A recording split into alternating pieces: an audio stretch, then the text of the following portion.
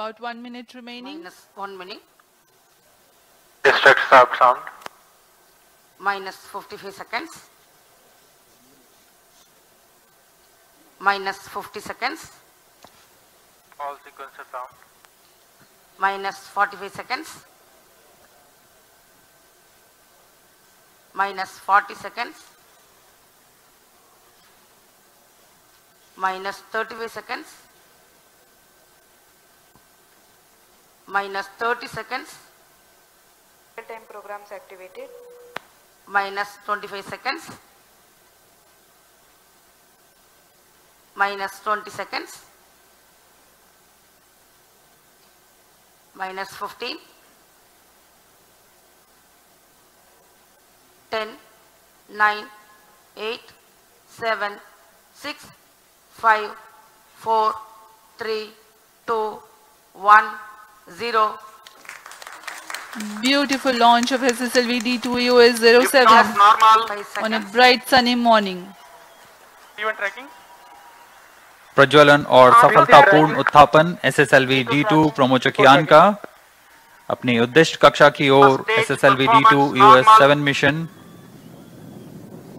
We have confirmation from the Range Operations Director of the normal performance of stage 1, which means close to 2600 kilonewtons thrust. 87 tons of solid propellant burns for 115 seconds. Bharat के आज़ादी के अमृत महोत्सव को दर्शाता भारत का एक और महत्वपूर्ण mission दिन के उजाले में दूर तक दिखाई दे रहा है बहुत से दर्शक आँखों देखा अनुभव लेने यहाँ उपस्थित हुए हैं ये अपने आप में अविस्मरणीय अनुभव होता है सभी की धड़कनें तेज Shato is in main auto. plus 1 minute. Apart from the launch-based radars, telemetry and tracking stations at Shar, Bangalore, Trivandrum are currently tracking. जैसे जैसे यान ऊपर जा रहा है हम देख रहे हैं इसके सभी तंत्र सामान्य निष्पादन कर रहे हैं और यान निर्धारित दिशा की ओर अपने आप को निरंतरित करता हुआ आगे जा रहा है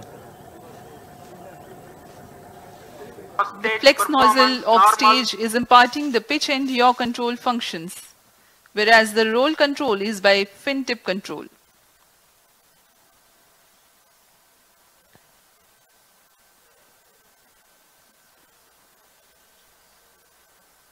यान अपेक्षित पथ का अनुकरण करता हुआ On your TV screens, the simulation of the flight, the separation of SS1 will follow the ignition of second stage. कुछ ही क्षणों में द्वितीय चरण का प्रज्वलन हो प्रथम चरण को पृथक कर दिया जाएगा Second stage ignited. First stage separated. 2C separated. द्वितीय चरण का प्रज्वलन शुरू हो चुका है और प्रथम चरण को सफलतापूर्वक पृथक कर दिया गया है The second stage of the rocket has commenced its operation and the first stage has been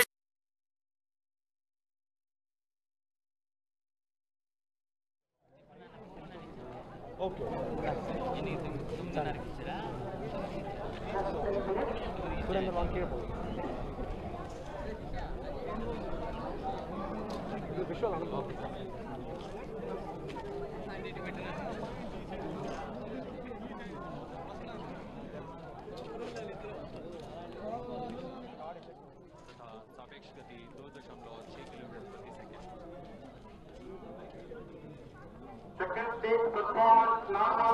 has been separated. The course correction of the launch vehicle takes place through a feedback Second loop. stage performance normal.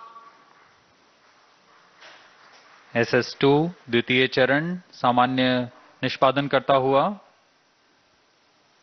S S to चरण का प्रज्वलन पूर्ण होने के पश्चात 140 second का coast phase शुरू होगा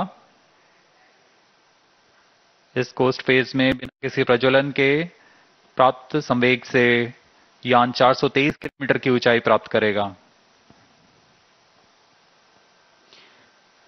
Shar Bangalore continue to track. Trivandrum and Port Blair stations have Left started to acquire minutes. the data.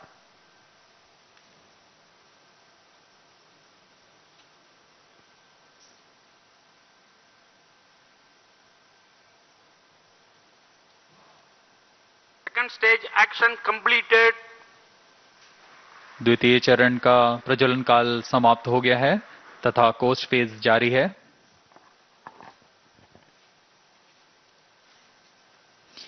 is in combined hosting and performance is normal.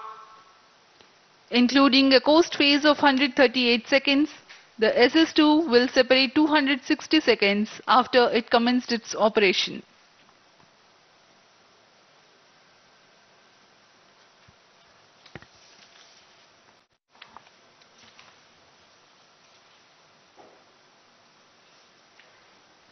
During the operation of SS2, the launch vehicle would have gained 423 kilometers altitude and 3.3 kilometers per second relative velocity.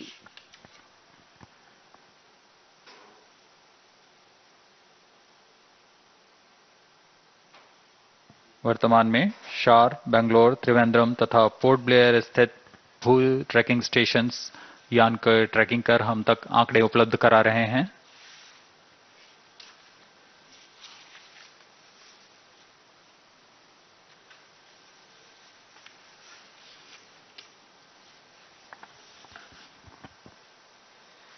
Costing phase जारी है। EOS seven उपग्रह मुख्यतः ऐसे नेतभारों का प्रयोग कर रहा है जो कि माइक्रो सैटेलाइट बस से सुसंगत और भावी उपग्रहों के लिए उपयोगी नवीन तकनीकों का प्रदर्शन करेंगे।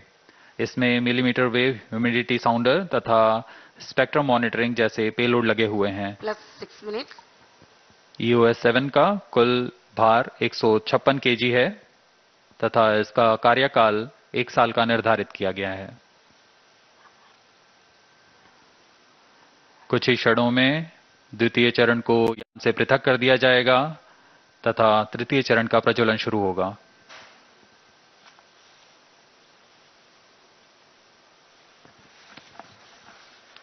Stage separated.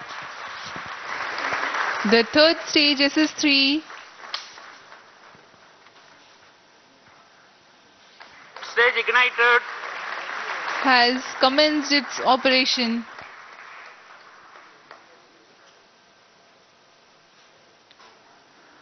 जी हाँ तृतीय चरण का प्रज्वलन शुरू हो चुका है यह भी करीब करीब 104 सेकेंड तक चलकर शांत हो जाएगा उसके बाद कोस्ट फ़ेज़ की शुरुआत होगी performance Normal. Plus 7 minutes. तृतीय चरण का प्रज्वलन सामान्य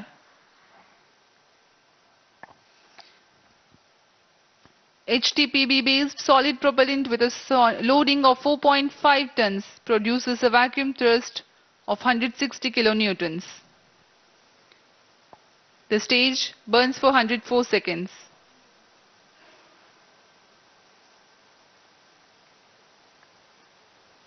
The This- current altitude is 449 kilometers.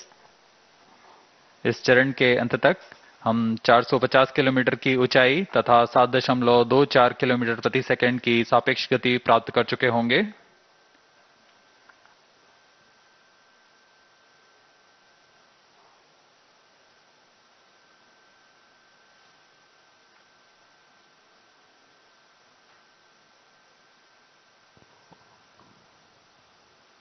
Plus 8 minutes. वर्तमान में हम 480 सेकंड आगे आ चुके हैं प्रमोचन से यान की ऊंचाई चार सौ तिरपन किलोमीटर तथा सापेक्ष गति 6.9 किलोमीटर प्रति second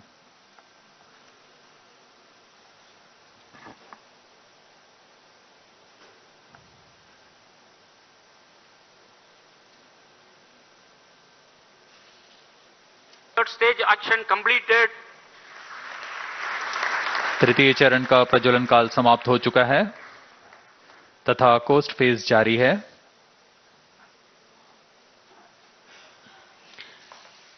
Presently, the third stage has completed its operation. Performance normal. but has not yet been separated. It is a coast phase along with the spent stage mass, velocity trimming module and the satellites. The duration of coast phase is designed according to the mission requirements considering the altitude to be reached and velocity to be attained at the time of injection. In the meantime, let me tell you about the satellites taking a ride in this mission. The primary satellite for this mission, EOS-07, is a microsatellite weighing 156 kgs, accommodating new technology payloads, millimeter wave humidity sounder, and spectrum monitoring payload. These new technologies, when proven, will be implemented in future operational satellites. The co-passenger satellite Janus-1 from USA is a technology demonstrator smart satellite mission based on Antares software platform. Janus-1 demonstrates modular bus and multi-tenant payloads with onboard edge computing programmable smart EPS, SX band SDR, Vehicle performance normal. secure TNC and digital twinning with SAS platform. Azadi Sat 2 is an 8U nanosatellite made by Space Kids India that aims to demonstrate the LoRa and amateur radio communication capabilities, measure radiation levels in space, and demonstrate expandable satellite structure.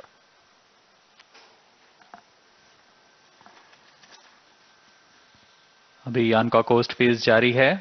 यान पूरी तरीके से निर्धारित पथ का अनुकरण करता हुआ अपनी उद्दिष्ट कक्षा की ओर बढ़ रहा है। इस यान में आज़ादी सेट एक क्यूब सेट है, जिसका भार 8 केजी है। इसे 75 फेम्टो एक्सपेरिमेंट्स के लिए विभिन्न नित भार हैं इन minutes. नित भारों को स्पेस किड्स इंडिया द्वारा एकीकृत किया गया है। इसमें UHF VHF frequency band transponders लगे हुए हैं जो कि ध्वनि तथा डेटा दोनों के प्रेषण में सक्षम हैं।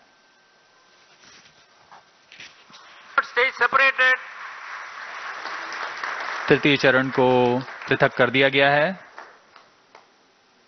Velocity trimming module ig- ignited.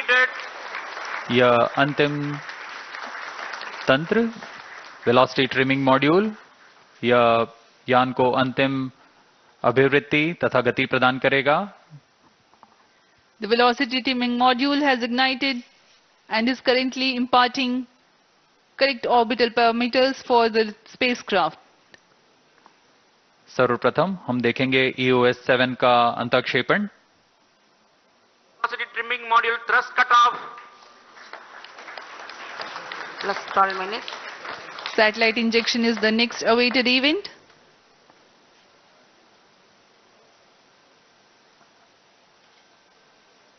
Satellite injection conditions are achieved.